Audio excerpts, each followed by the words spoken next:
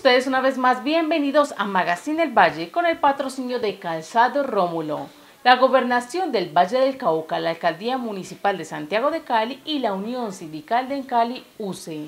Jaime Perea, por el Polo Democrático, buscará llegar al Consejo Municipal de Santiago de Cali. Veamos la siguiente nota. En este momento estamos aspirando al Consejo de Cali para lograr que Cali Distrito sea un distrito más integrado, un distrito que lleve más justicia social para todos los caleños. Esa es nuestra propuesta y ese es nuestro papel eh, en esta oportunidad. Me imagino que usted como docente también va a buscar proyectos que beneficien no solamente a la docencia, sino también a, la clase estudiantil. Bueno, nuestro propósito también tiene que ver con que la comunidad se pueda fortalecer en términos de conocer cómo funciona la democracia, en términos de conocer cuál es el papel que debe jugar el Consejo Municipal, en términos de fortalecerse con toda la institucionalidad que hay en esta ciudad para que la ciudad sea mucho más grande. Y por eso nosotros en el número uno con el Polo estamos aspirando para que esa Cali sea una Cali donde todos nos sintamos parte de ella. Tiene una tarea bastante difícil, ¿no?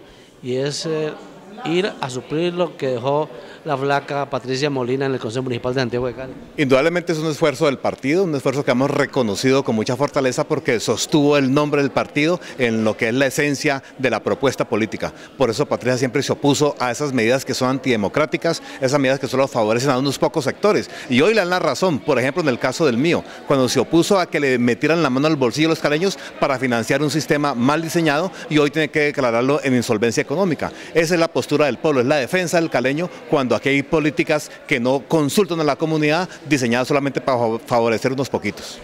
En este trabajo que usted ha venido realizando en busca de llegar al Consejo Municipal de Santiago de Cali, ¿considera que ha hecho una tarea suficientemente buena para poder aspirar al Consejo Municipal de Santiago de Cali y conseguir lo suficiente número de votos que lo colocan, en, le, le dan esa curul?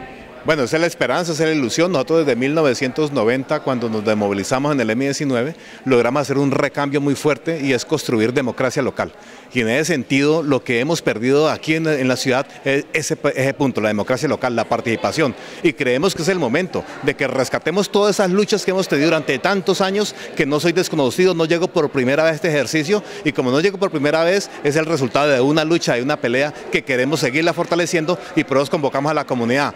Voten a conciencia, piensen en el propósito que se, que se va a jugar este 27 de octubre porque el soberano es el pueblo y eso lo conquistamos en la Constitución del 91. La participación ciudadana es del pueblo y lo que se elija es para que se llegue a hacer beneficio del pueblo, a garantizar derechos del pueblo. Por eso nosotros estamos encabezando con el polo número uno este propósito, esta lucha. No es una reparticiña de promesas, no una reparticiña de tamales, es una propuesta de construir una ciudad para todos nosotros. Polo uno usted como docente me imagino que ha hecho mucha pedagogía, ¿no? Que hay que marcar polo y el número uno. Si marca solamente el polo, solamente se va por el partido, más no por el candidato. Indudablemente, este ejercicio forma parte de un acuerdo político que está en la ley y la ley lo que implica es de que la comunidad puede escoger al interior de un partido el candidato que le prefiera. En ese sentido, mi convocatoria es para que marquen el Polo como partido que ha estado comprometido con las luchas del pueblo y dentro de la lista del Polo, el número uno, el primer número que aparece en el tarjetón. Calima Aldarien tiene candidato a la Asamblea del Valle del Cauca. Se trata de Yersaín Ríos. Esta es su hoja de vida. Yersaín Ríos Bravo, soy abogado de profesión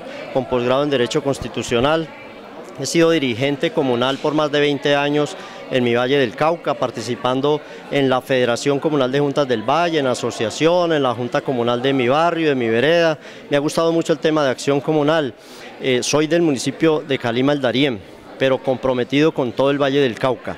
Soy polo democrático, el número 71 para la Asamblea del Valle y hemos decidido aspirar pues en esta oportunidad porque creemos que los líderes sociales, que los líderes comunales merecemos estar en la Asamblea Departamental tiempo en el Polo Democrático?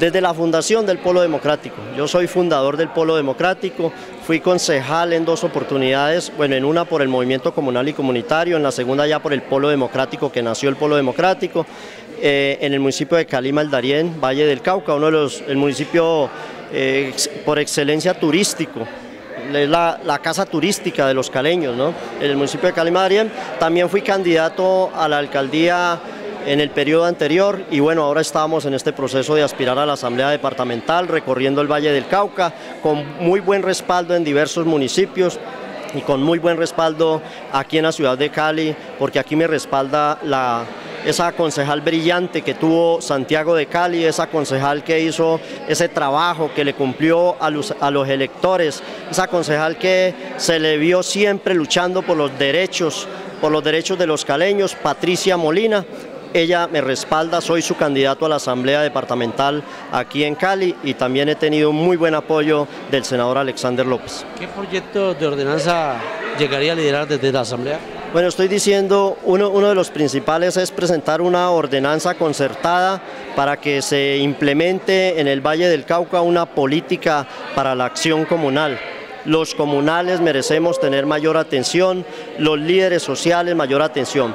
Pero en conclusión, eh, nuestro proceso en la Asamblea Departamental será en defensa de esos líderes sociales, los líderes sociales no nos los pueden seguir matando, los dirigentes comunales no nos los pueden seguir matando y hay que respaldarlos, acompañarlos en su legítima protesta, acompañarlos en su denuncia, en esa protesta, pero protesta pacífica y en esa denuncia que ellos requieren. Es que eh, la Asamblea Departamental y mi curul se convierta en ese diputado, se convierta en esa curul en defensa de los derechos humanos, en defensa de los derechos sociales de la población vallecaucana, así como de los sindicatos, de los trabajadores, de las madres comunitarias, de los, de los, eh, de los campesinos y de todas aquellas comunidades que han sido eh, de verdad eh, desconocidas por el gobierno departamental y por los diversos gobiernos municipales, así como esos municipios, esos municipios del Valle del Cauca eh, alejados,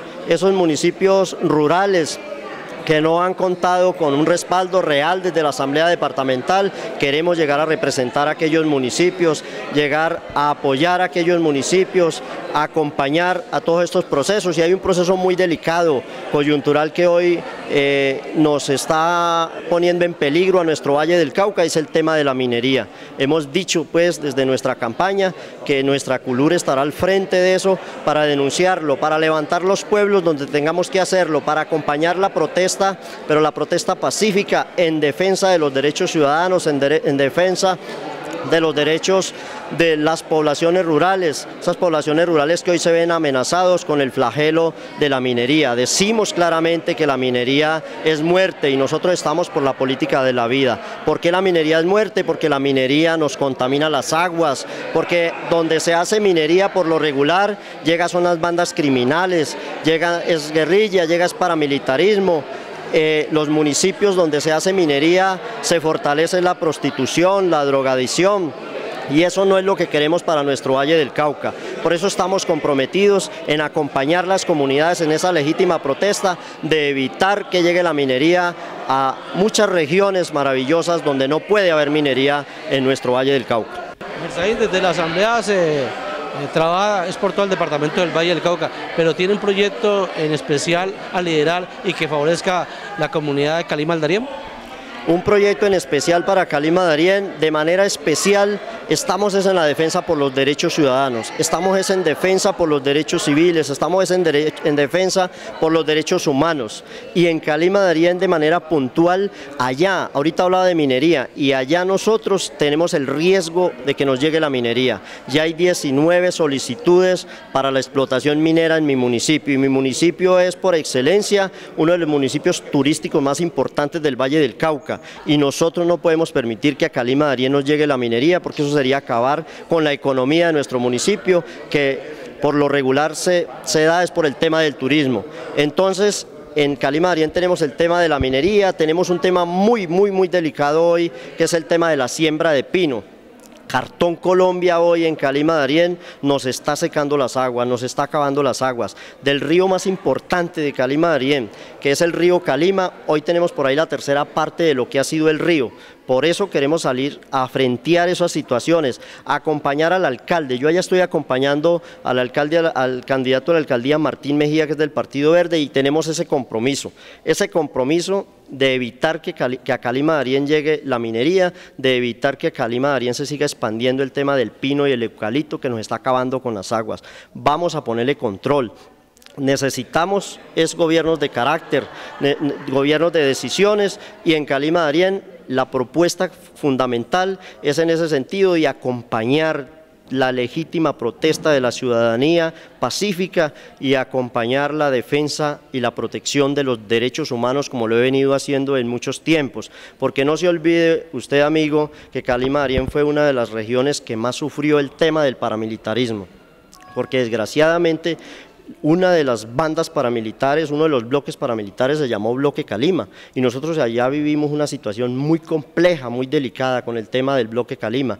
Y nosotros no queremos permitir que eso siga ocurriendo porque sabemos que si llega la minería nos vuelve a llegar los paramilitares, nos vuelve a llegar las bandas criminales. Y es en ese sentido entonces que nosotros tenemos la firme convicción que desde la Asamblea Departamental vamos a defender a nuestro municipio Calima de Arién de estos monstruos. Pero no, ojo, le, recuerdo, no solamente a Calima de Arién, también a Sevilla, a Ugalagrande, a Andalucía, a Buenaventura y a muchos sectores que ya han sido impactados por la minería y por flagelos bastante nefastos para las regiones. Estamos es por la defensa de los derechos humanos, por la defensa de los derechos sociales de nuestro Valle del Cauca. Pues muy amable Gersaín, un gusto haberlo conocido y para apoyar esos proyectos, esas ideas, ¿cómo se debe marcar el 27 de octubre? Bueno, el 27 de octubre yo invito a todos nuestros amigos y amigas vallecaucanas para que nos acompañe en el tarjetón de asamblea, ojo, tarjetón de asamblea departamental, marcando el polo democrático y el número 71 polo democrático y número 71 y seguramente entonces el Valle del Cauca contará con un diputado que llega a hacer renovación, pero una renovación honesta, decente, como nos gusta a nosotros, y al servicio, pero de la sociedad vallecaucana, haciendo respetar sus derechos, haciendo de, respetar los derechos humanos de todos los vallecaucanos. Nuestro departamento está lleno de gente innovadora, creativa, luchadora, gente que se levanta todos los días a sacar su vida adelante. Por ellos tenemos que crear un valle lleno de oportunidades.